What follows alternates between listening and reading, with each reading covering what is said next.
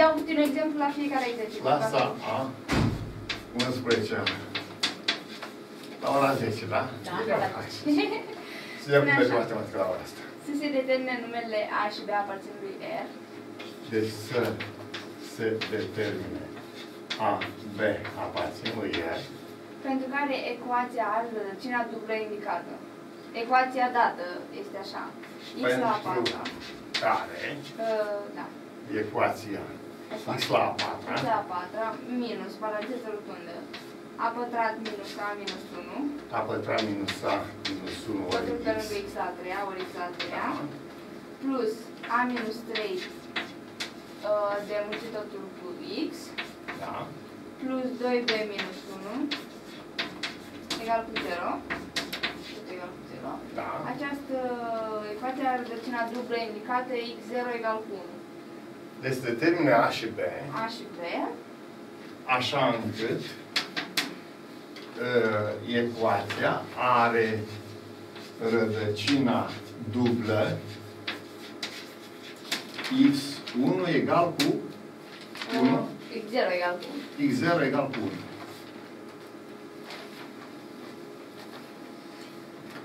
Uh,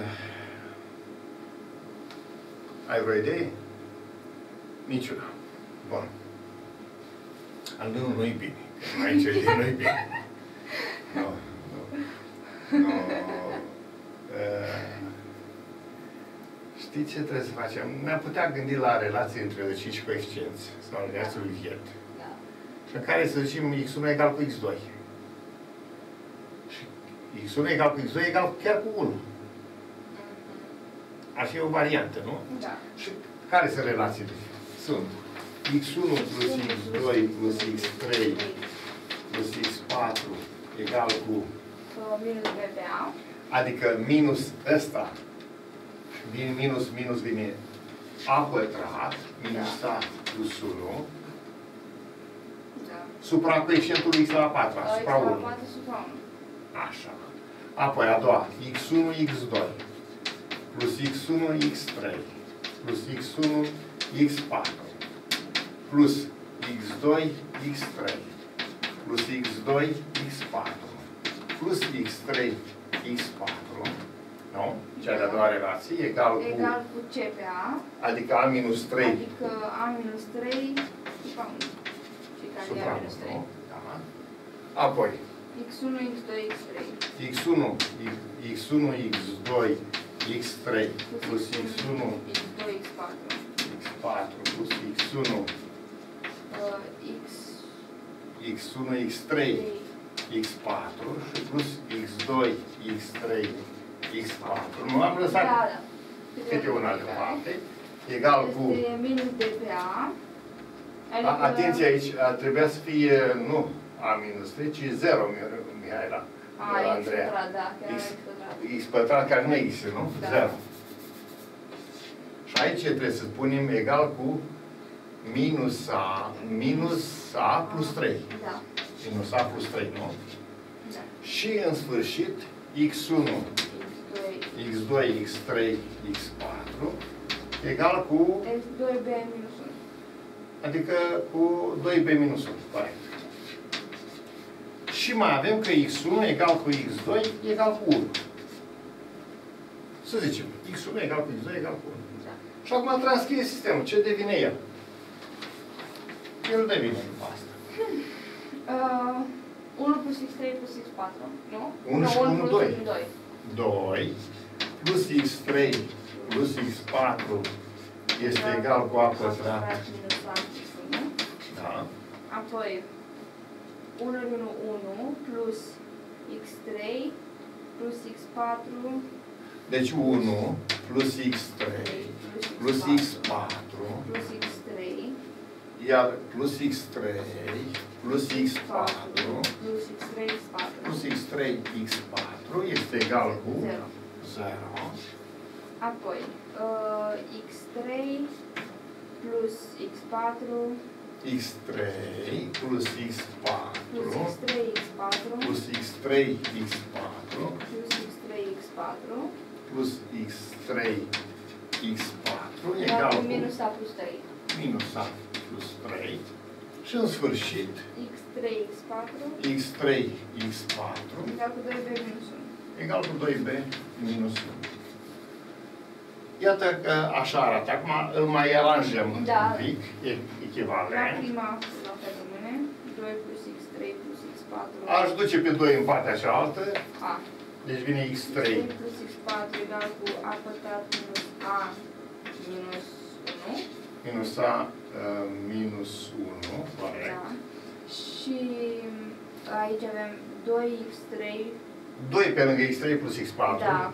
2 pe lângă x3 plus x4 plus x3 x4 egal cu minus 1. egal cu, cu 0, văd.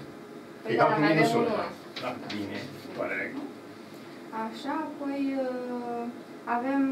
Un x3 plus x4, nu? Da, și avem 2 pe lângă x3, x4. Deci x3 plus x4 plus x3 2x. 2x3 x4 2x3 x4 egal cu minus a plus 3. Plus 3 Și x3, x4? Și x3 x4. Egal cu 2b minus 1. Eu cred că o să ne concentrăm uh, pe primele trei. Da. Uh, și Păi înlocuim x3 plus x4. X3 plus x4 care este a pătrat minus a minus 1 și o să avem uh, de acolo, uh, când înlocuim în cele Avem și două, pe x3, x4 o să-l putem găsi. îl găsim și pe x3 plus x4, da? Da. Uh, mai sc- pe scurt, mi- îmi- ți-aș propune așa. Hai să din astea două să eliminăm pe x3, x4, adică mulțim cu minus 2 pe asta, Da. ca să fie minus 2 x3, x4 să le ducă ăștia, Da. și punem uh, x3 plus x4 în mâna pe ea, notăm x3 plus x4, hai să zicem mai x3 plus x4 egal cu un yes, Da. Iar x3 ori x4 cu produsul. Și sistemul devine mai uh, liniștit Da. un pic. Avem uh, Yes S egal cu a pătrat minus a minus 1. 2 2 yes plus b egal cu minus 1. S plus 2P Yes plus 2b egal cu minus A plus 3. minus a plus 3 și ne oprim la asta două, cealaltă, dacă știm pe S sau pe P, înlocuim și găsim pe B de acolo. Da. Spuneam uh, că ce bine ar fi să Le eliminăm pe P. pe P-ul de aici, adică mulțim cu minus 2 și devine, a doua devine minus 4S Da, minus 4S minus 2 P egal cu, min, cu egal cu plus 2 Da. Și S plus 2P S plus 2P egal cu minus A plus 3. minus A plus 3. Minus 3S Minus 3S egal cu minus A plus 5. minus A plus 5. Atunci S egal cu A minus 5 pe 3. S egal cu minus A sau Rămâne cu ca A A minus minus 5, A A minus minus 5 5 pe 3. pe 3. Și S-ul știut, ne ducem mai și înlocuim. Da. Pe de altă parte avem că S, punem sub ea, S egal cu A pătrat minus A minus 1, Egalăm. egalăm și vine A pătrat minus A. 3 pe lângă A pătrat minus A minus 1 egal cu A minus 5. egal cu A minus 5 pe 3, pătrat minus pe 3, da? 3A. Păi Da. am ridicat deja, da? Deci 3A pătrat minus 3A Uh, minus, Minus. 4, că ducem și pe aul celălalt înainte. minus 4, Că ducem și pe ăla de acolo. da, minus 4A și minus 3 și cu 5, Minus 8. minus 3 plus 5 A, plus minus 2. 3 plus 5 plus 2. Plus 2, da? Da. Plus 2 egal cu 0. Și atunci A1, 2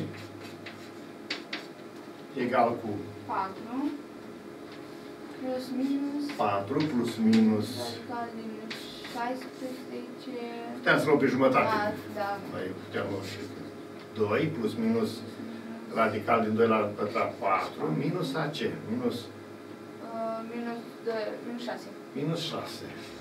Supra, da, A reali, A și B reali. Uite, ne dă complex și poate aici. Um, Da, și B aparțin de el. Da, ne dă complex, am greșit undeva. Uh, Da, unde să am fac fi greșit? Minus 3 plus uh, 5, 2.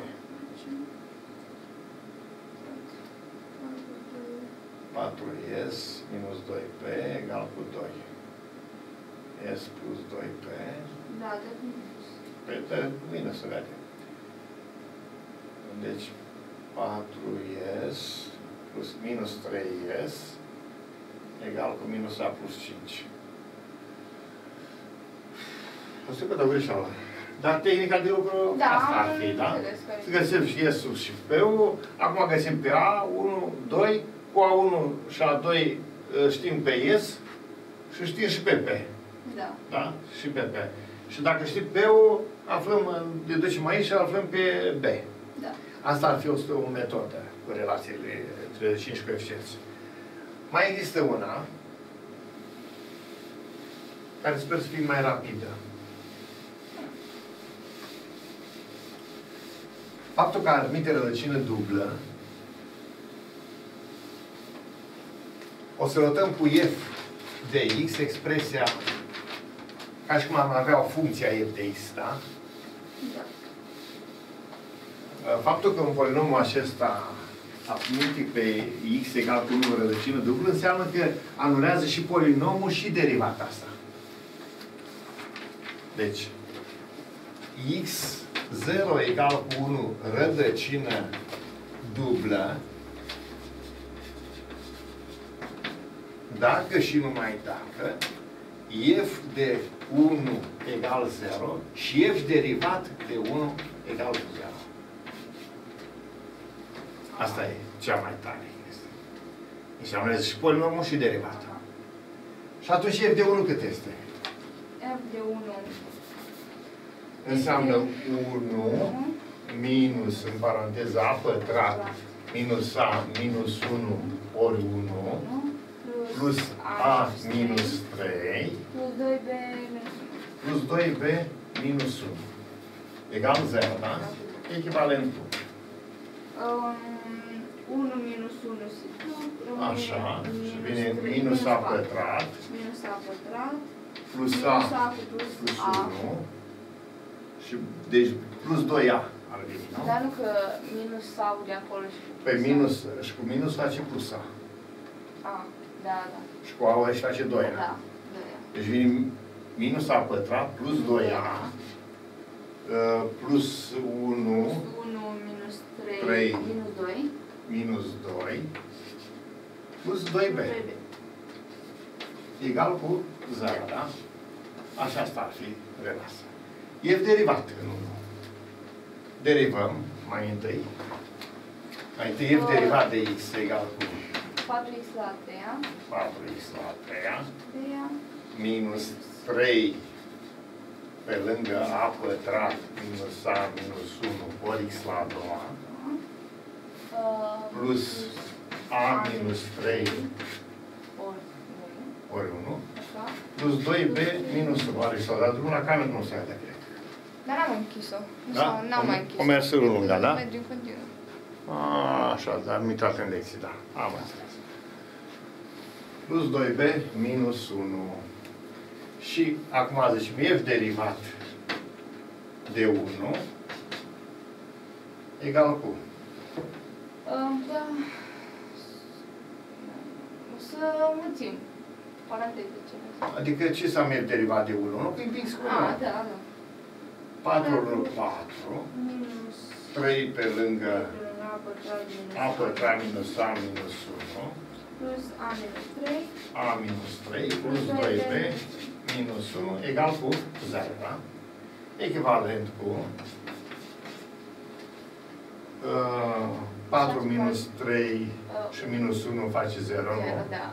Și rămâne minus 3a pătrat plus 3a plus 3 plus Plus a a plus 2b plus 2b egal cu 0, nu? da. Și avem cele două Relații. relații. Deci aici o să spun de sub minus 3a pătrat. Așa este? Da, da. Plus 3a 3A și cu A, 4A. 4A, da. 4A și plus 2B și plus 3 plus 3 plus 2B egal cu 0. Din cele două se elimină B-ul, numai dacă le scădem, mulțim pe a doua cu minus 1 se duce B-ul și rămâne în o ecuație numai în A. Da. Și e mult mai rapid. Da. Și fără risc de a greși. Ori dincolo am greșit un semn undeva și am dat peste cap. Da. Deci asta era ideea cea mai bună. Faptul că un polinom admite o rădăcină dublă înseamnă că el se anulează în punctul respectiv, că ți se dă Da. care e rădăcina dublă. Se anulează în punctul respectiv și derivata se anulează acolo. Deci, valoarea respectivă, x egal cu 1 este rădăcină și pentru polinom și pentru derivata sa. Da. Și aceste două lucruri înseamnă un sistem de două ecuații cu două necunoscute, în A și B. De acolo rezolvarea este o treabă la îndemână. Mai rezisti? Mai stai? Da. Da. Bine. Mai rezistați? De, pe la mine e valabil, da. Păi, Da. Hai să mai facem una, dacă. facem alt tip. Deci așa, să se determine ordin, ordinul de multiplicitate al rădăcinii date. Și se dă ecuația și rădăcina. Deci, să Ordinul dă de multiplicitate. ordinul de multiplicitate a rădăcinii, da? Da.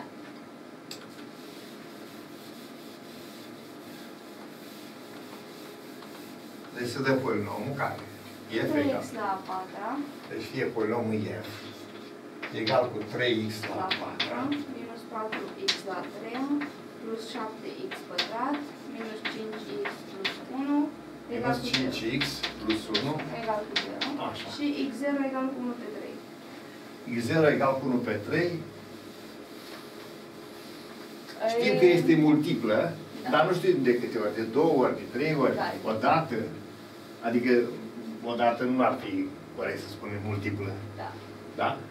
Deci, x0 egal cu 1 pe 3, ordinul de multiplicitate.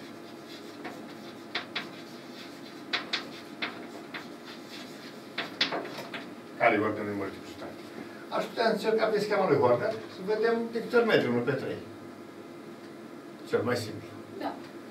Da. Deci, 3 3, minus 4. 4, 7, minus 5 și 1. Și 1 pe 3 să încercăm. 3 coboară, face 1, minus 4 face minus 3, face minus 1 și cu 7, 6, face 1 pe, nu, face 2. 2 și cu minus 5, 5 și minus 3. minus 3, Uh, Minus unu 1 și cu 1 0. 0. Deci am mers ăla. Da. Încă o dată. 1 pe 3. Ne uităm la coeficiente ăștia. Da. 3 coboară, Coboară. 1 și cu minus 3 dă minus 2. minus 2. Apoi dă minus 2 pe 3. Stop. Când îți dă fracții, Deja nu nu mai merge. merge. Da. Deci ordinea de multiplicat e 1. Ah. O singură dată merge. Și ușor. Foarte simplu, da. Trecem la alt tip. Te rog. Așa. Am.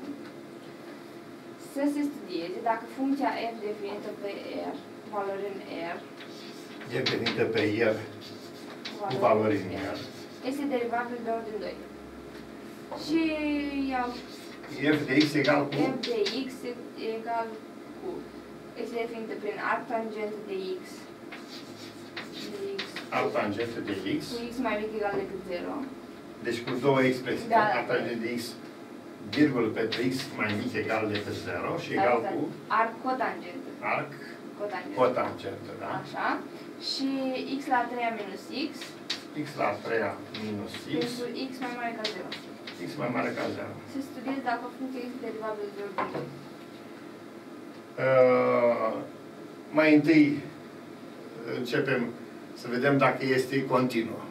Ca să vedem derivata. Continuitate. Da? Deci continuitatea. Bun. Uh, limită la stânga. Da? Deci el ies stânga în 1 Zero. egal cu limită în 0, da? Da. Zero. Egal cu limită Pentru x de la 0 cu valori nu ești decât 0. Din arc cotangentă de arc X. cotangentă de X, așa, egal cu arc cotangentă de 0, cât la tangenta cotangentă de 0 cât este?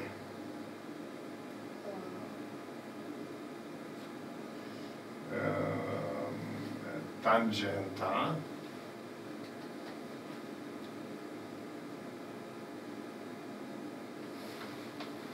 ce știm la arc cotangentă?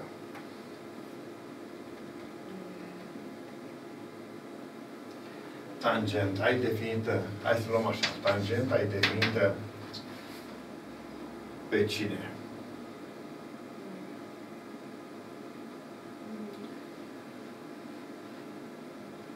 Pe minus pi pe 2 pi pe 2 cu valori în iar. Nu? Deci ne amintim funcția tangentă are graficul așa. Deci la minus pi pe 2, la pi pe 2, cu valori în iar. Arc tangenta e definită pe iar cu valori în minus pi pe 2, pi pe 2. Cotangenta. Cotangenta e funcție definită pe 0 pi, 0 deschis pi, cu valori în iar. Și atunci arcotangenta Arc e cotangenta e definită pe iar. Pe cu valori în 0 pi. Deci, eh, arcotangenta e definită pe iar cu valori în 0 pi și arcotangentă de 0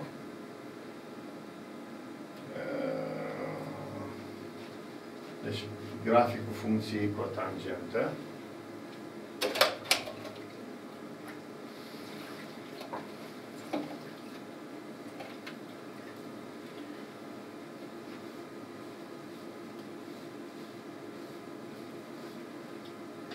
zero pi cotangentă de 0 este uh, cum vine aici la pi așa parcă vine uh, al cotangentă de pi pe 2 este 0 tangenta la, cotangenta la pi pe 2 este 0 și atunci uh, arcotangentă de 0, deci uh, se schimbă practic uh, deci domeniul devine codomeniu și face minus infinit. Da? Deci a- face minus infinit. Iar pentru x mai mare ca 0, cu 0 minus 0 face 0. zero. Și atunci n-ar exista, n-ar fi continuă. Încep să fiu obosit, nu mă Da. da. am randament și Da. ne oprim aici că Da, dragă de mine e 30 ceva. uh, 10 și ceva. Nu. Scoat chiar dimineața și seara n-am dormit prea bine că am avut așa. Am, am obosit la Consiliul Ok. Martină. La revedere!